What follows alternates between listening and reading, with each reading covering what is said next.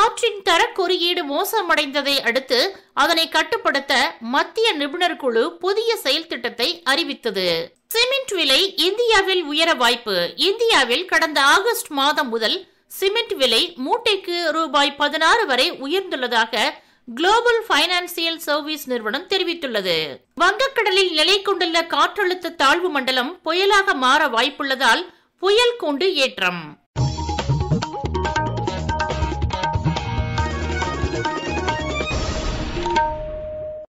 இத்துடன் நிறைவடைகிறது செய்தி துளிகள் வழங்கியோர் மாலதி ஆட்ஸ்.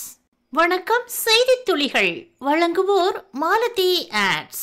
வங்கக்கடலில் நிலை கொண்டிருந்த காற்றழுத்த தாழ்வு மண்டலம் ஆழ்ந்த காற்றழுத்த தாழ்வு மண்டலமாக வலுப்பெற்றது என வானிலை ஆய்வு மையம் தெரிவித்துள்ளது.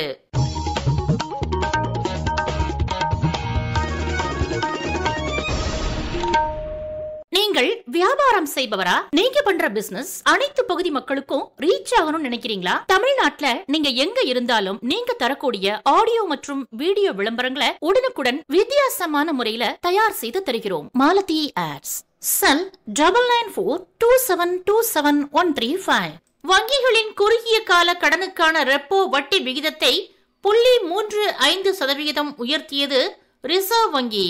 வட்டி விகிதம் ஐந்து புள்ளி ஒன்பதில் இருந்து ஆறு புள்ளி இருபத்தி ஐந்தாக அதிகரிப்பு. விரைவில் ஆதார் கியூஆர் ஸ்கேன் தற்போது வெறும் பனிரெண்டு நம்பர் இருந்தாலே போதும் என்ற நிலை இருப்பதால் பலர் ஆதாரை கிழிந்த நிலையில் வைத்துள்ளதாக இந்த அமைப்பு தெரிவித்துள்ளது. விரைவில் கியூஆர் ஸ்கேன் செய்தால்தான் பல சேவைகள் கிடைக்கும் என்ற நிலை வர இருப்பதால் அட்டையை பத்திரமாக வைத்திருங்கள் என்று யுஐடிஏஐ தெரிவித்துள்ளது.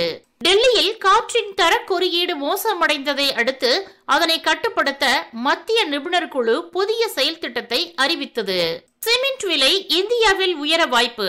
இந்தியாவில் கடந்த ஆகஸ்ட் மாதம் முதல் சிமெண்ட் விலை மூட்டைக்கு ரூபாய் பதினாறு வரை உயர்ந்துள்ளதாக குளோபல் பைனான்சியல் சர்வீஸ் நிறுவனம் தெரிவித்துள்ளது.